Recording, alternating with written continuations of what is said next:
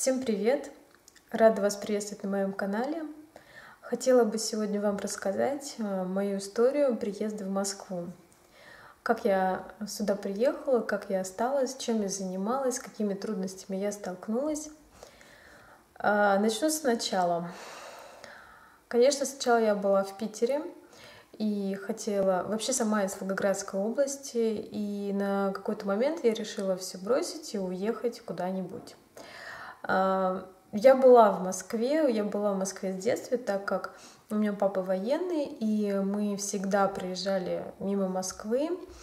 Мы всегда были перелеты какие-то из Москвы, очень часто летали в Благовещенск, на Дальний Восток. То есть в Москве я была, я видела примерно, какая жизнь, какие люди, чем живут, какие дела и все остальное. А, но никогда даже не могла представить и не могла подумать, что я буду жить в Москве, что это будет мой родной дом, это мой родной город, а, где я себя чувствую очень уютно. Побывав в Питере, мне очень нравится этот город, но этот город мне нравится для того, чтобы приехать, погулять, насладиться этой красотой, ну и поехать домой, как бы так. Значит, с чего началась моя поездка в Москву? А, на, данный, на тот момент, когда я собиралась куда-то уехать, к нам приехала сестра, которая тоже хотела переехать в Москву жить. Начинается все с белого листа, как говорится. И я думаю, что побывав, когда я была в Питере, я подумала, что это не мой город, что это все не мое, хотя я там уже подавала резюме свое, то есть меня уже пригласили предлагали вакансию э, на собеседование. Прекрасный день и прекрасный момент. Я просто собиралась идти на собеседование и понимала, что это не мой город, это не моя энергия. Ну вот знаете, такое бывает, когда ты приходишь куда-то, в какое-то даже место, и ты понимаешь, что это не твое вообще, тебе здесь неуютно, что тебе плохо в этом месте, либо городе, либо еще где-то. А, вот позвонила сестре и сказала, я говорю, давай поедем в Москву вместе, все-таки вдвоем будет нам легче. Она говорит, давай. Я вернулась домой, и, как сейчас помню, мы с ней начали судорожно искать э, возможности, где нам жить, вообще, где мы будем жить, где нам можно будет снять жилье, да. И мы даже не представляли, насколько все тяжело и серьезно. Мы искали на всяких разных сайтах, конечно, на Авито. Циан про тот момент, по-моему, даже не было в 2014 году. А, только, может быть, он начал развиваться. Вот не помню, когда мы искали, почему-то про Циан мы не слышали. Значит, на Авито искали и в группах ВКонтакте от собственников, либо просто аренда жилья в Москве, недорого, всякое такое.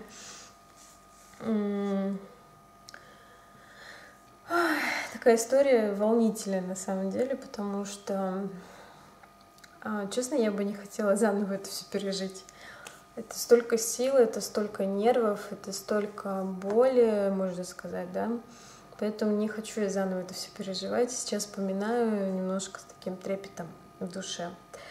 Значит, э, мы нашли девушку, которая была согласна с нами снимать квартиру. Ну, то есть так делают, да, снимают квартиру и живут там несколько человек. Например, однушку, либо двушку там по комнате, да. А, то есть мы договорились, все нормально, и когда собирались ехать в Москву, а, у моей сестры троюродной, у нее здесь были друзья, был друг, который согласился нас приютить, встретить и помочь там в каких-то моментах, да. Он давно уже в Москве работает, то есть, в принципе, много что знал. А, конечно же, мы поехали автобусом, потому что поезда у нас не получилось, у нас не хватило денег. То есть мы рассчитывали на определенную сумму. И взяли два чемодана огромных, Хорошо, что они были на колесиках, потому что, я думаю, мы бы не дотащили точно ничего бы. И, э, значит, на автобусе мы поехали в Москву, покорять Москву. А, в принципе, мы хорошо доехали, мы приехали на Павелецкий вокзал. А, приехали, а друга почему-то не было, то есть он опаздывал, мы ему позвонили, вернее, сестра позвонила, он реально опаздывал, была какая-то пробка, либо что-то еще, он сказал, подождите, я приеду. Ну окей. А, мы подошли к тому месту, где мы собирались встретиться. Друг ее приехал, все нормально, он забрал наши вещи, он забрал нас, и поехали к нему, он нас приютил, как говорится. Когда мы приехали, и он начал расспрашивать, ну, какие планы, как вы собираетесь, где вы собираетесь жить, где снимать, работа, ну, куча вопросов, да. Мы такие говорим, ну, окей, мы, значит, переночуем, и завтра уже позвоним той девушке, которая, с которой мы договорились. И на следующее утро мы проснулись рано, и сестра, когда позвонила той девушке, то есть она была уже недоступна. Девушка слилась, пропала, неизвестно вообще, куда она делась. Ну и все. И этот парень говорит такой, слушайте, а сколько у вас есть денег, на какую сумму вы рассчитываете вот снять жилье? А мы такие сидели, говорим, у нас 25 тысяч на двоих. А, он нас так посмотрел, как на ненормальных, наверное. Такой говорит, слушайте, как можно за 25 тысяч в Москве а, снять себе жилье? Мы говорим, ну что, это же, это же большие деньги. Для нас это, ну, месячная зарплата, наверное, была даже, даже, даже полтора месячная зарплата, можно так сказать. Нам что-то 25 тысяч нам уже вот так хватит. Ой, наивные дурочки. А, ну и вот, и когда мы реально начали смотреть цены, и мы понимали, что тут даже и 40 тысячами делать-то нечего, можно сказать. Просто сейчас я вообще понимаю, что это ну, 40 тысяч и то, чтобы сразу снять, это нужно как минимум хотя бы 60-70 тысяч, чтобы это, во-первых, заплатить за квартиру за месяц, во-вторых, это отдать 50, либо 70, либо 100 процентов риэлтору, и еще нужно заплатить аванс. Это стопроцентно, либо 50 процентов, все тоже по-разному сдают, да, и мало ты там, когда сможешь найти квартиру от собственника, и то он тебе скажет авансы за первый месяц, и не факт, что это будет все нормально, что он тебя не обманет, да, или вас не обманет. А, ну, недолго думая, я начала искать эм, какие-то варианты в группах ВКонтакте и э, смотрели, искали, но ничего такого не находили. Потом я нашла парня, который сдавал, значит, одну комнату то есть это двушка была, и он сдавал комнату за 25 тысяч, туда все было включено, это и коммунальные услуги, и интернет, и все остальное. То есть просто даешь 25 тысяч и живешь спокойно.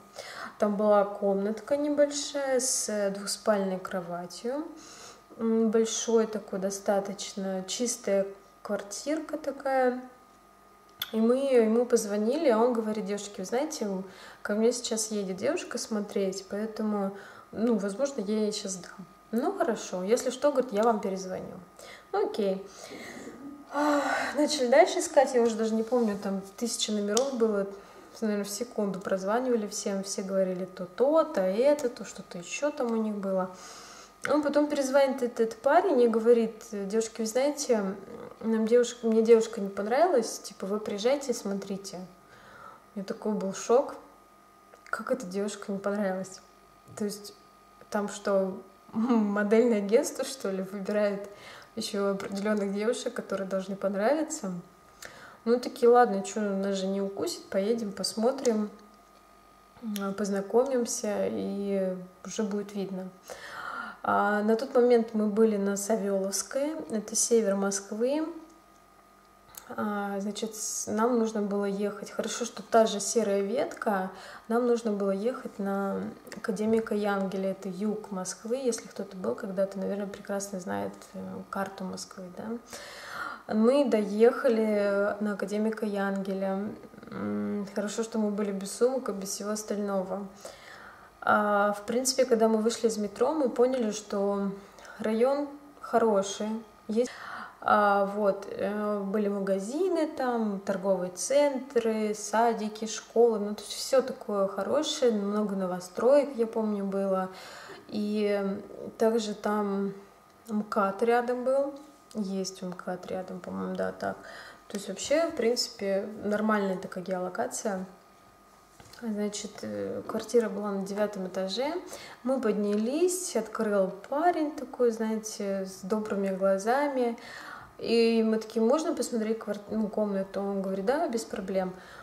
Зашли, такая чистая квартирка, все хорошо, прекрасно. Зашли комнату посмотреть. Комната в очень достойном виде. Были пластиковые окна, был ламинат, э, была кровать односпальная. Ой, двухспальная, господи, почему не односпальная все время? А, вот, и мы такие говорим, хорошо, отлично, мы хотели бы снять эту квартиру, комнату, вернее, квартира опять, комнату. И я такая говорю, так, а, а где у вас тут хозяин, а кто вообще, кто вообще хозяин? Он рассказывает, что это я работаю, у нас там девушка, вот ее квартира, она сдает, я говорю, так, она надо, чтобы она приехала, чтобы мы все познакомились, чтобы нас не кинула. И все остальное такое, да, в принципе, без проблем, пожалуйста. Ну, только там определенный день какой-то на выберет, она приедет. Ну, все отлично. Мы говорим, а можно мы сегодня уедем? Говорю, да, без проблем, какие проблемы? И деньги тогда, говорю, отдадим вам. Говорю, да, хорошо. Поехали обратно туда, на Савеловскую. А, уже было, в принципе, темно. Попросили нашего друга а, нас отвезти на машине с этими сумками совсем. И он согласился, за что ему большое спасибо, он нам помог, он привез. Самое интересное было то, что он уже, знаете, такой, ну прям, а, как бы объяснить. Ну, то есть у человека есть э, какой-то достаток, да, и он уже не особо напрягается, не особо хочет там что-то делать, тем более еще таскать наши сумки, чужие сумки, да, там. Ну, на самом деле парень-то хорошо себя повел, нам помог. А самый, э, самый прикол был в том, что э, в этот день почему-то сломался лифт, и на девятый этаж, на девятый этаж нам нужно было нести э, наши вещи. У нас было просто нереально какие-то неподъемные сумки, я уже даже не помню. Просто, ну, мы же взяли там и посуду, и постельное белье, и теплые вещи, потому что это уже была осень. Вот, он нам помог, а, значит, все пришли, расположились, все классно все поставили, расставили. Ну, мы вообще были такие счастливые, мы просто... Даже сейчас я думаю, господи, за 25 тысяч, ну, это вообще нереально, мне кажется, что-то снять за двоих. Один, это да, еще можно что-то придумать. А за двоих это очень тяжело. А, вообще, если кто-то соберется переезжать в Москву, к примеру, да, вообще я советую всем своим друзьям и знакомым с моей области, например, да, откуда я родом, что пока вы молодые, пока у вас есть силы, возможности, да, лучше приехать, поработать здесь, а, заработать перспек... какие-то есть перспективы, понимаете, потому что ну, все прекрасно знают, что в регионах сейчас проблемы с работой, проблемы с реализацией, со всем остальным. Если вы, конечно, не имеете свой бизнес или какое-то дело, то я считаю, лучше всего поехать сюда. Тем более, если есть у вас хорошая специальность, например, да, а, стаж, либо даже самое главное желание работать, то лучше ехать сюда. Когда я была в Питере, искала работу, я начала искать себе жилье, потому что я была там у хороших наших знакомых. И тоже такая интересная ситуация сложилась были, я помню, как сейчас, что я была на Невском проспекте, там висело объявление, как бы написано от руки. Потом я, конечно, поняла, что это просто шрифт такой, и это распечатано было, потому что и размножено везде, это потом уже я на каких-то других станциях я видела это объявление и думаю, боже, как разводят людей. Э, в Москве тоже много махинаций здесь есть с жильем. А, но что произошло в Питере? Значит, нашла комнату, потому что я тоже видела цены, у них там не дешевые цены на жилье. Нашла комнату, и там было написано, что 10 тысяч за комнату на одного человека, значит, там кровать, И я когда позвонила, мне девушка ответила и сказала, что я помогаю своей подруге, а, вы приезжайте, я говорю, как посмотреть? Говорит, вы приезжайте, мы посмотрим, если вам понравится, то пожалуйста. Она мне сказала адрес, куда ехать. Вообще я Питер не знала, я вообще была в Питере первый раз, и в принципе хорошо ориентировалась и понимала, куда нужно ехать, да. А, приехала на место, я говорю, а куда нужно идти? Она говорит, поднимитесь на пятый этаж, офис там, например, такой-то. Я такая, в смысле, а какой офис? Что здесь, квартира, что ли, которая создается? А говорит, девушка, ну вы приходите, я вам все объясню. Ну, окей, хорошо. Я, конечно, насторожилась такая, думаю, ну это, блин, какой-то развод, вот реально развод. Ну, думаю, пойду, я уже приехала, что же делать там? А, поднимаюсь наверх в этот офис, а, такое небольшое помещение, значит, сидят э, молодые люди, у них э, столы с э, ноутбуками, и знаете, как-то так вещи на стуле, у них висят рюкзак их и вещи. Тут же такое ощущение, что они прямо сейчас секунду, и они уже выбегают куда-то там бежать домой, оденутся и бегут. Вот. Ну, я подошла, о, Екатерина, да, говорю, Екатерина, ну, садитесь, присаживайтесь на стульчик, я присаживаюсь, сидит девушка передо мной и говорит, у нас есть такие предложения, я говорю, в смысле предложения? Он такой, ну, она такая говорит, ну, вам же нужно жилье. Я говорю, ну да, мне нужно жилье, но вы же сказали, что вы помогаете подруге. Ой, ну вот, ну, понимаете, у нас есть тут очень хорошее, давайте я вам расскажу, покажу. Он такой, ну ладно, давайте, рассказывайте. Опять же, думаю, сейчас послушаю вообще, к чему это идет все. И она начинает мне показывать картинки э, тех комнат, которые сдаются. И я прекрасно понимаю, что они далеко 10 тысяч не стоят что они намного дороже, потому что там мебель такая была, знаете, ну не эконом-класса далеко, и не икеевская, и там еще какая-то. Я такая, о, да, супер, вот эта мне квартира вообще нравится. Она такая говорит, ну давайте мы с вами заключим договор, и будем звонить хозяйке, и мы договоримся, на какой день, значит, вы будете смотреть и э, заезжать туда. И такая говорю, ну да, давайте.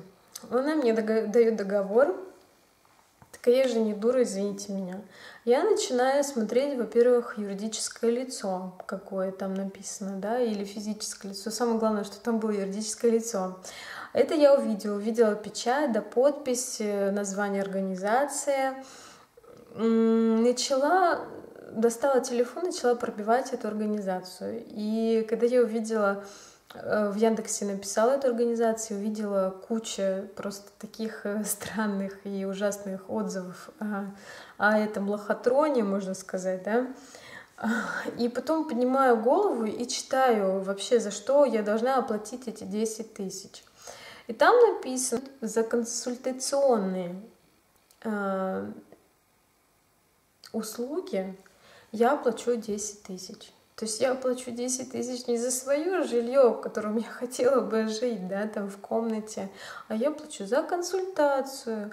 Просто вот просидеть там 5 минут, тебе за консультацию возьмут 10 тысяч. Ну ладно, окей, такая читаю, и она мне такая уже набирает телефон типа хозяйки, а-ля, хозяйки. А, я говорю, ну да, давайте я буду типа общаться. И за ней говорю, ой, здравствуйте, девушка, я вот хозяйка, я вот готова вас завтра, во сколько вам было бы удобнее, или, может быть, сегодня вы подъедете? А, на что я сказала, да-да-да, типа, спасибо, я вам перезвоню.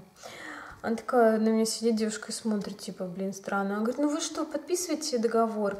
И видит, что я как бы палит, что я вижу, читаю про эту организацию. Такая говорит, девушка, да вы не читайте, это наши конкуренты. Вы знаете, они очень нас не любят, они пишут там всякие гадости, всякие плохие, мы очень хорошая организация. Такая говорю, да. Ну и берут, дают такой договор, девушка, извините, но я ничего вам не буду ни платить, ни брать. Знаете, у нее такая сразу реакция была агрессивная да вы, вы не найдете больше таких предложений, мы тут супер-мега компания. Да, я так посмотрела, сказала, ну хорошо, всего доброго. Кстати говоря, потом я читала про эту организацию, что очень много людей, даже взрослых людей попадали на это, платили им деньги и взамен ничего не получали. То есть они подписывали договор, они оплачивали, им давали номер телефона, хозяйка сказала, давайте на завтра. На завтра приезжали, звонили, абонент не абонент. И все. Вот такие вот истории. Так что кто собирается ехать в Москву или в Питер, и может быть даже в другой крупный город. Хотелось бы надеяться, что там нет такого, но я так думаю, что это практически везде. Просто здесь очень обостренная эта тема с жильем. Людей очень много, жить всем надо где-то, они же не будут на улице. Поэтому будьте внимательны, будьте аккуратны, обязательно пробивайте. Тем более сейчас очень удобно, в интернете можно найти всю информацию.